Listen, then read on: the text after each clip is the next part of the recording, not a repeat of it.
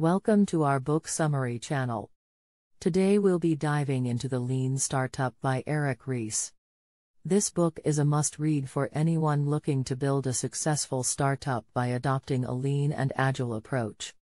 Ries shares his insights on how to validate assumptions, test ideas, and continuously iterate the product based on customer feedback. Join us as we explore the key concepts and takeaways from this essential read for entrepreneurs. Chapter 1 Start. The first chapter emphasizes the importance of starting a business with a clear understanding of the problem you are trying to solve. Ries emphasizes that entrepreneurs need to start by identifying the critical assumptions underlying their business idea and validating them through experimentation.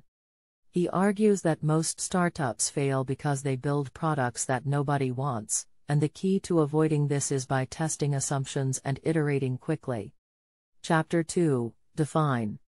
In this chapter, Ries outlines the process of defining the product or service by creating a minimum viable product, MVP. The MVP is the simplest possible version of the product that can be used to validate assumptions and get feedback from customers. Ries also introduces the concept of validated learning, which means using data and feedback to test assumptions and improve the product. Chapter 3 Learn. Ries explains the importance of learning from customers and using their feedback to improve the product. He argues that startups need to adopt a scientific approach to product development by creating hypotheses, testing them, and learning from the results.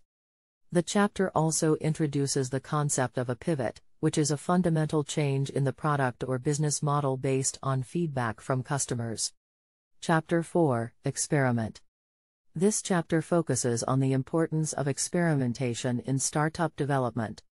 Ries argues that startups should use rapid experimentation to test assumptions and improve the product.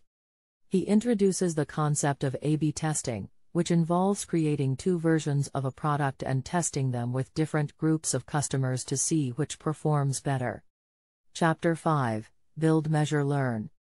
In this chapter, Ries introduces the Build Measure Learn loop, which is the process of quickly building a product, measuring its performance, and learning from the results.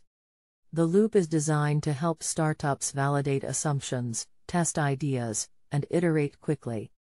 Ries also emphasizes the importance of metrics and data in measuring the success of a startup. Chapter 6 Leap. This chapter focuses on the importance of taking calculated risks and making bold moves to grow a startup. Ries argues that startups need to be willing to take leaps of faith to achieve success, but they should also be cautious and test assumptions before making big decisions. He introduces the concept of innovation accounting, which is the process of measuring progress and making decisions based on data and validated learning. Chapter 7 Measure. In this chapter, Ries emphasizes the importance of measuring progress and using metrics to guide decision making. He introduces the concept of actionable metrics, which are metrics that can be used to guide decisions and improve the product.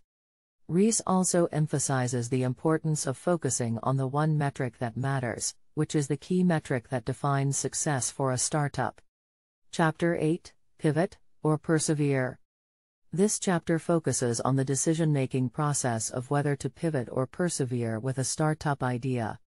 Ries argues that startups need to be willing to pivot if they discover that their assumptions are incorrect or if their current strategy is not working. He provides several examples of successful startups that pivoted to find their product market fit. Chapter 9 Batch.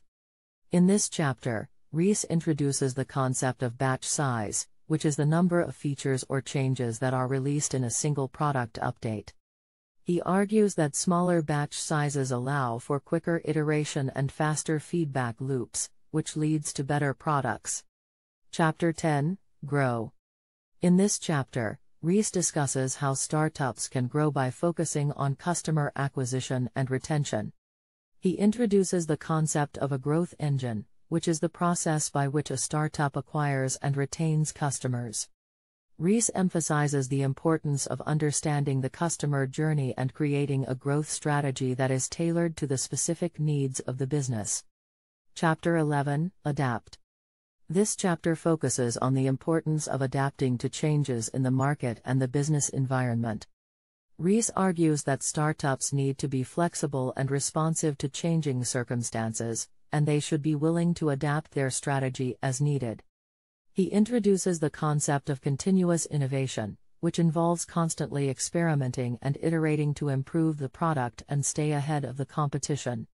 Chapter 12 Innovate. In the final chapter, Ries emphasizes the importance of innovation and creativity in the startup world. He argues that innovation is the key to creating a sustainable competitive advantage, and startups should always be looking for new and better ways to solve problems. Ries concludes the book by encouraging entrepreneurs to adopt a lean and agile approach to innovation and to never stop learning and experimenting. Overall, the Lean Startup provides a comprehensive guide for entrepreneurs on how to build a successful startup by following a lean and agile approach. The book emphasizes the importance of validating assumptions, testing ideas, and continuously iterating the product based on customer feedback. By adopting a scientific approach to product development and focusing on validated learning, startups can improve their chances of success and avoid the pitfalls that lead to failure. If you like this summary, then subscribe to my channel, and if you want to purchase this book, check out the link given in description box. Also check out the new designs on our store for unisex t-shirt, hoodie, sweatshirt etc. I'll see you in the next book summary. Thanks for watching.